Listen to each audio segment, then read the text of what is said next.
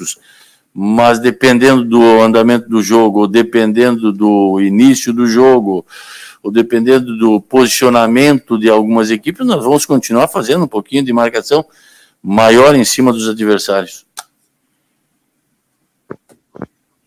Boa noite, Felipe. Se tu me permite, eu quero te fazer duas perguntas. A primeira é sobre o, o time do Grêmio em si. A gente está vendo hoje o time do Grêmio conseguiu de uma certa forma se desvencilhar da forte marcação do Corinthians, teve chute fora da área, mas não conseguiu criar realmente a situação de gol, de ficar a situação clara de gol frente a frente com o goleiro do adversário. Esse hoje é o maior problema do time do Grêmio. E a segunda pergunta é: mesmo com o maior erro do árbitro que fosse, no momento que o Grêmio está e da liderança que o Michael é, não é muito preocupante a reação que ele teve perante esse erro?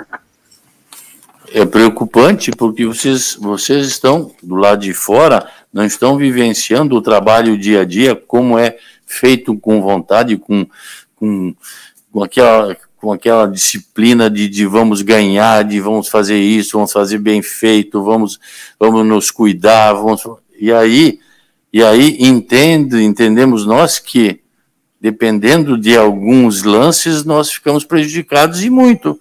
E aí Neste momento em que nós estamos também é, com essa pontuação que não, que não nos deixa respirar tranquilamente, é claro que os ânimos ficam um pouco mais exaltados. É, que mais tu me perguntaste? É, sobre a, sobre a, a, finalização da jogada, que o Grêmio tem marcado muito bem, muito. tem conseguindo sair, mas não consegue finalizar não, com qualidade. Ok, e nós temos que acreditar também um pouco mais no nosso, no nosso poderio.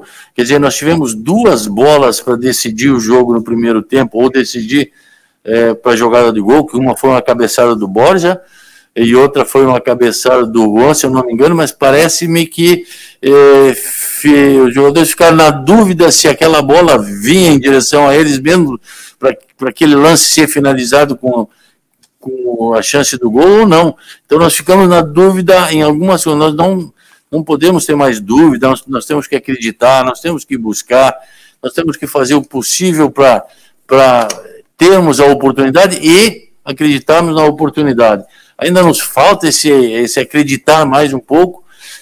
E a gente vai passando, não pode deixar passar muito, muito, muito mais, não. Então, é, estamos fazendo, melhorando em alguns aspectos, mas ainda não é o ideal. Pois é, Filipão, boa noite. É mais ou menos sobre isso que eu queria falar também, sobre essa questão de confiança do Grêmio e da entrada do Campaz no time, né? Trazendo qualidade para o meio campo, mas ainda não conseguiu ser o jogador que a gente viu ainda, né, nos vídeos e tudo mais.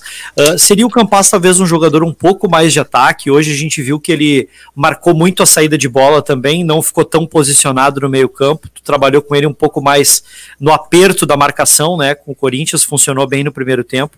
Como é que tu vê essa entrada dele no time e como dar essa confiança para esses jogadores e também para esses jogadores que estão chegando agora?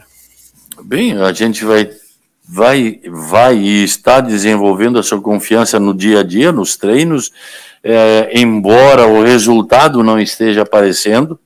É, a gente continua, deve continuar trabalhando para que isso, isso aconteça no decorrer do campeonato e, e essa, esse pensamento positivo, essa positividade que a gente imagina que eles possam ter aconteça realmente.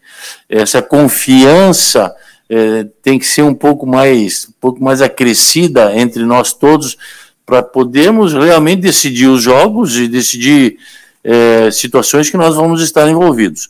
É, nós vamos continuar trabalhando em cima disso, vamos, vamos ver de que forma chegamos a, até eles um pouco mais é, com algum jeito a mais para deixá-los mais ou mais tranquilos ou mais confiantes para o próximo jogo. Mas o Campaz entrou, fez um, teve uma, uma, um posicionamento em que nós, no primeiro tempo, praticamente dominamos a equipe do Corinthians e criamos uma ou outra oportunidade, é, mas, mas tínhamos muito mais a posse de bola, tínhamos mais, mais eficiência em tudo.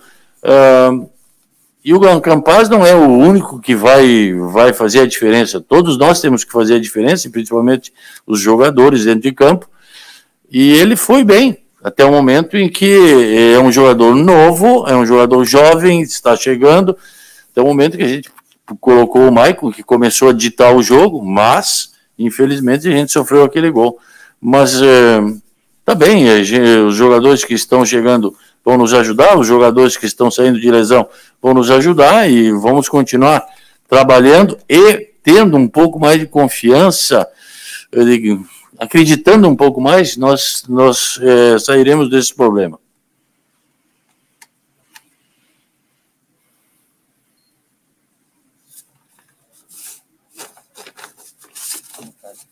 Avisa para ele que está mutado, por favor.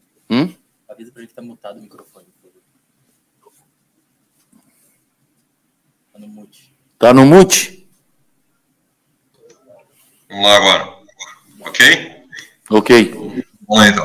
Uh, até em cima dessa sequência de, de trabalho e também da confiança que você fala, né, de passar para os atletas, o Grêmio tem esse período até o dia 11 de setembro, e jogadores como Campas, que chegou há pouco, o próprio Vila Sante, né, que faz, faz pouco tempo, Borja aí, cinco, seis jogos, e jogadores que estão se recuperando de lesão. A importância desse período, né, para você poder preparar, preparar realmente a equipe de uma forma uh, mais, forte, com maior, maiores convicções aí para esse início de segundo turno. Sim, nós vamos agora aproveitar para fazer o restante da recuperação que precisa ser feita em todos os, todos os atletas, que teremos tempo para isso, e teremos tempo de trabalho para colocar a equipe em melhores condições para o jogo, para o próximo jogo, que será, se não me engano, dia 11, contra o Ceará. É, dia 12, 12, 12, contra o Ceará. Então, é, é, trabalhar, não adianta trabalhar confiantes, sabemos que, que será muito difícil, mas que nós podemos, que, que teremos dificuldades extra-campo também, mas que temos que superá-las. Vamos ver, trabalhar em conjunto para superar todas as, as dificuldades que estão aparecendo até esse momento. E nós vamos fazer isso. Tá. Muito bem, gurizada, seguinte, seguinte, é...